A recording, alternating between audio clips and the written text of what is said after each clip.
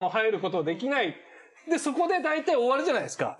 その免罪符としての犬のベンチがあるみたいな。そうなんですよ。すごいね。あの発想力すごいですよね。異様に想像力が豊かですよ。あの人の、なんか視点っていうのは、わちょっとたまらないです。で、ちょっと走ってる時、アンガールズの山根みたいじゃないですか。確かに。なんかほっとけないんですよね。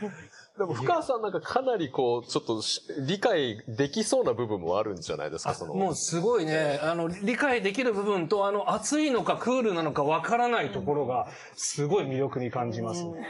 あと小さな音を聞こうとするじゃないですか、深川さんも。あの、だって看板の色が赤がダメとか、ああいう感覚って普通はないですよね。さくらさんの顔から犬クソっていう言葉が出てきそうにないじゃないですか。それが一番面白いなと思いながら。